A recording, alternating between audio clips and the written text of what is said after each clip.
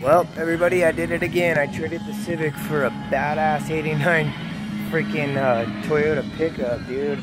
All sick. It has like a rebuilt freaking transmission, transfer case, everything. I'm grinding down the frame a little bit because there's like some chipped paint underneath there and stuff.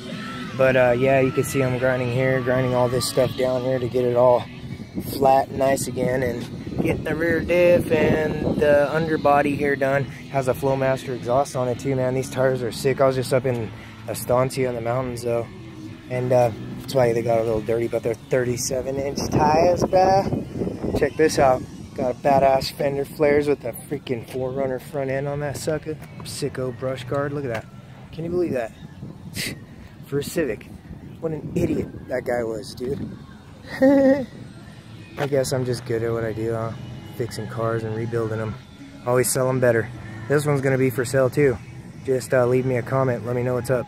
Laters, guys.